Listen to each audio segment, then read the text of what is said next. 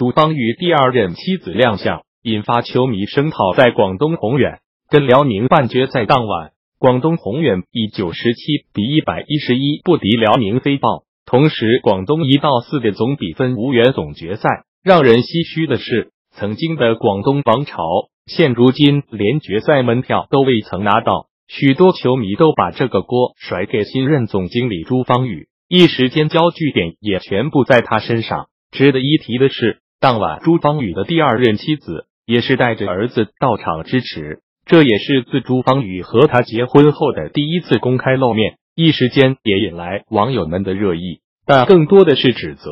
要知道，朱芳雨跟前妻胡美曾是令人羡慕的一对，胡美媛是中国艺术体操队运动员。身材高挑，四肢纤细，两人于二零零八年九月八日结婚。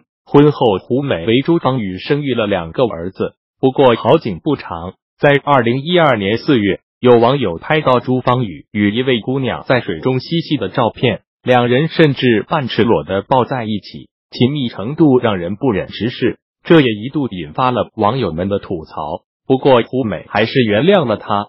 但朱芳雨依旧死心不改，又多次偷吃。这次胡美忍无可忍，最后在二零一三年五月，朱芳雨和胡美秘密协议离婚。离婚后，胡美也发了声明：“我曾经试着去原谅，但是被原谅过的男人似乎总是记性不好，即使当时在痛哭流涕，过不了几天也会忘得一干二净。以前觉得找男朋友不能找帅的，因为花心不安全。”现在已经是过来人了，想法就成熟多了。找男朋友不能找丑的，因为不仅花心还丑。在离婚不久，朱芳雨就和该女秘密结婚，基本上没人知道。婚后也没有在公开场合上露面。不过这次比赛到现场支持，或许朱芳雨也不惧舆论了吧。